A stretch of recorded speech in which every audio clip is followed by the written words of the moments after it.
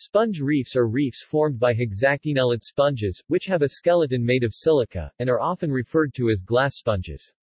Such reefs are now very rare, and found only on the western Canadian continental shelf. Although common in the late Jurassic period, sponge reefs were believed to have gone extinct during or shortly after the Cretaceous period, until the existing reefs were discovered in 1987-1988 hence these sometimes being dubbed living fossils. The reefs serve an important ecological function as habitat, breeding and nursery areas for fish and invertebrates but are currently threatened by the fishery, offshore oil and gas industries. Attempts are being made to protect these unique ecosystems through fishery closures and potentially the establishment of marine protected areas MPAs around the sponge reefs. Characteristics of hexactinellid sponges Hexactinellids, or glassy, sponges are characterized by a rigid framework of spicules made of silica. Unlike other poriferans, hexactinellids do not possess the ability to contract. Another unique feature of glassy sponges is that their tissues are made up almost entirely of syncytia. In a syncytium there are many nuclei in a continuous cytoplasm. Nuclei are not packaged in discrete cells. As a result, the sponge has a distinctive electrical conduction system across its body. This allows the sponge to rapidly respond to disturbances such as a physical impact or excessive sediment in the water. The sponge's response is to stop feeding. It will try to resume feeding after 20 to 30 minutes, but will stop again if the irritation is still present. Hexactinellids are exclusively marine and are found throughout the world in deep greater than 1,000 meters oceans. Individual sponges grow at a rate of 0 to 7 centimeters per year, and can live to be at least 220 years old. Little is known about hexactinellid sponge reproduction. Like all poriferans, the hexactinellids are filter feeders. They obtain nutrition from direct absorption of dissolved substances, and to a lesser extent from particulate materials. There are no known predators of healthy reef sponges. This is likely because the sponges possess very little organic tissue. The siliceous skeleton accounts for 90% of the sponge body weight. Hexasterophoran sponges have spicules called hexactines that have six rays set at right angles. Orders within Hexasterophora are classified by how tightly the spicules interlock with Lyssacinosan spicules less tightly interlocked than those of Hexactinosan sponges. The primary frame-building sponges are all members of the order Hexactinosa, and include the species Chonelasma, Heterochone calyx, chalice sponge, Aphrocallistes vastus, cloud sponge, and Farrea occa. Hexactinosan sponges have a rigid scaffolding of fused spicules that persists after the death of the sponge. Other sponge species abundant on sponge reefs are members of the order Lyssacinosa, rosselid sponges, and include Rhabdocalyptus dawsoni, boot sponge, Acanthascus platae, Acanthascus cactus and Staurocalyptus dowlingi. Rosselid sponges have a woven or loose siliceous skeleton that does not persist after the death of the sponge, and are capable of forming mats, but not reefs. Location of sponge reefs Although hexactinellid sponges are found worldwide in deep seawater, the only place that they are known to form reefs is on the western Canadian continental shelf. Communities of rosselid sponges called sponge mats are widely distributed. They are found in canyons in the North Atlantic, in the Canadian Arctic and on Antarctic continental shelves. There is also a reef formed of siliceous Demospongiae species off of Axel Heiberg Island in the Arctic Ocean. Four hexactinellid reefs were discovered in the Queen Charlotte Basin QCB, in 1987-1988. Three more reefs were reported in the Georgia Basin GB, in 2005. The QCB reefs are found 70 to 80 kilometers from the coastline in water 165 to 240 meters deep. These reefs cover over 700 square kilometers of the ocean floor. Sponge reefs require unique conditions, which may explain their global rarity. They are found only in glacier-scoured troughs of low-angle continental shelf. The seafloor is stable and consists of rock, coarse gravel, and large boulders. Hexactinellid sponges require a hard substrate, and do not anchor to muddy or sandy sea floors. They are found only where sedimentation rates are low, dissolved silica is high 43 to 75 μm, and bottom currents are between 0.15 and 0.30 meters per second. Dissolved oxygen is low 64 to 152 μm, and temperatures are a cool 5.5 to 7.3 degrees Celsius at the reefs. Surface temperatures range between 6 degrees Celsius in April and 14 degrees Celsius in August. Downwellings are common in Hecate Strait and Queen Charlotte Sound, especially in winter, but there is an occasional summer upwelling. These upwellings bring nutrient-rich waters to the sponge reefs. Structure of sponge reefs Each living sponge on the surface of the reef can be over 1.5 meters tall. The reefs are composed of mounds called bioherms that are up to 21 meters high, and sheets called biostromes that are 2 to 10 meters thick and may be many kilometers wide. Each sponge in the order Hexactinosa has a rigid skeleton that persists after the death of the animal. This provides an excellent substrate for sponge larvae to settle upon, and new sponges grow on the framework of past generations.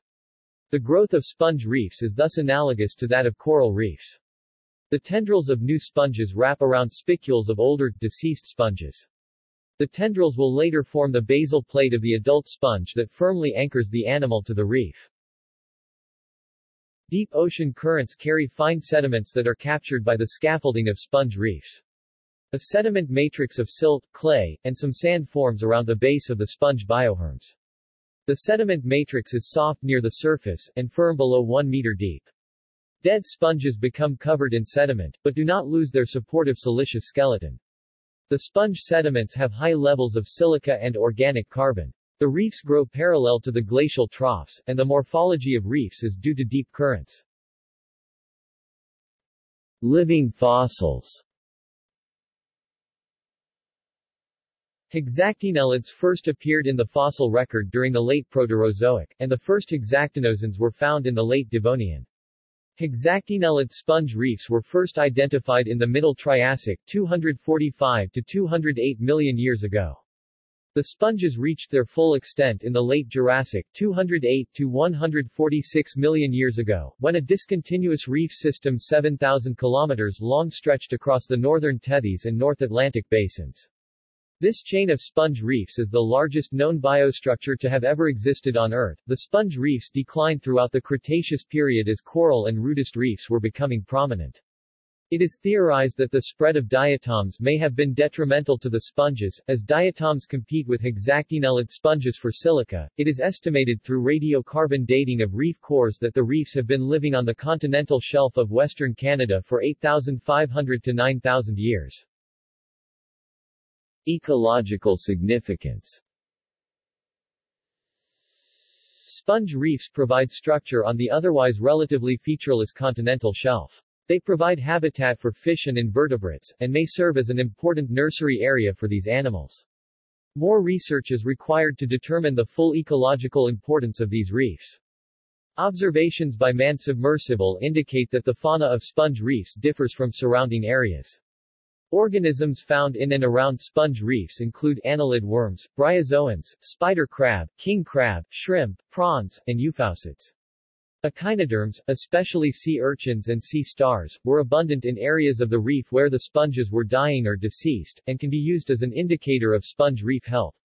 Rockfish, especially Sebastes species, live in openings and in between sponges. Gravid and juvenile rockfish were observed, suggesting that the reefs are being used as a nursery area. Foraminiferans are abundant around the reefs, and diatoms are scarce. The consortium of organisms living in and around sponge reefs has changed very little since the Jurassic. Destruction of sponge reefs The reefs are susceptible to damage by fishing, especially bottom trawling and dredging. In typical groundfish trawling, a large net is dragged across the ocean floor, its mouth held open by two two-ton doors called otterboards. The siliceous skeleton of the sponges is fragile, and these organisms are easily broken by physical impact. The impacts of bottom trawling have been observed in three of the reefs in the QCB. Trawling damage appears as parallel tracks 70 to 100 meters apart that may extend for several km.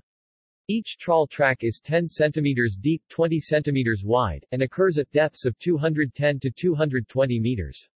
Sponges in the vicinity of trawl tracks are shattered or completely removed. While less harmful, hook and line fishing as well as crustacean trapping may also damage the reefs. When the fishing gear is hauled to the surface, the lines and traps drag along the ocean floor and have the potential to break corals and sponges. Broken sponge stumps as well as those with abraded sides, were found in regions where line and trap fishing took place. Breakage of reef sponges may have dire consequences for the recruitment of new sponges, as sponge larvae require the siliceous skeletons of past generations as a substrate. Without a hard substrate, new sponges cannot settle and regrow broken parts of the reef. It has been estimated that broken sponge reefs may take up to 200 years to recover. In addition, offshore oil and gas exploration threatens the reefs. The government of British Columbia has lifted a moratorium preventing exploratory drilling and tanker traffic in Hecate Strait and Queen Charlotte Sound, and the area has been leased by the oil and gas industry. Even if exploratory drilling is not done on or immediately adjacent to the reefs, it may still have a negative impact by increasing the amount of sediment in the seawater, or through hydrocarbon pollution. Protection it was requested in 1999 that groundfish trawlers voluntarily avoid sponge reefs. In 2002 voluntary closures of shrimp trawl fishing, and regulated closures of groundfish trawling were initiated in areas where sponge reefs were known.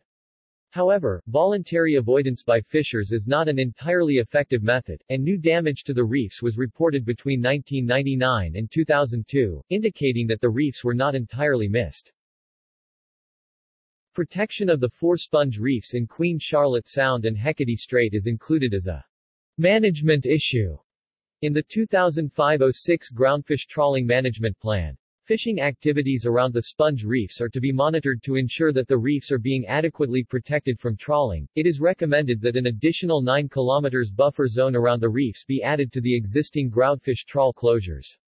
The four reefs in the QCB, and one reef in the GB are also being considered as locations for future marine protected areas MPAs. Although MPAs may be more effective than fishery closures for long-term protection of the reefs from bottom trawling, the oil and gas industry would still pose a threat. See also Hexactinellid sponges, glass sponges Cloud sponge Sponge Reef Project. References. External links the Sponge Reef Project. https colon slash slash web dot archive dot org slash web slash 2011022407281 slash http colon slash slash www.porifera.org slash a slash chopin.html. Accessed on March 25, 2008. Natural Resources Canada. Sponge reefs on the continental shelf https colon slash slash web dot archive dot org path colon slash web slash two oh one one one oh oh nine oh five oh one three one slash http colon slash slash gsc dot nercan dot gc dot saw slash marine slash sponge slash index underscore e dot php. Accessed on March 25, 2008. Austin, W.C. 2003. Sponge Gardens, a hidden treasure in British Columbia, https colon slash slash web dot archive dot org slash web slash two oh one one one oh oh five one four two five oh two slash http colon slash slash www dot dot org slash koyatan slash spongegardens slash home slash. Accessed on March 25, 2008. University of California Museum of Paleontology Hexactinellida. http colon www.ucmp.berkeley.edu slash porifera slash hexactinellida.html. Accessed on April 7, 2008.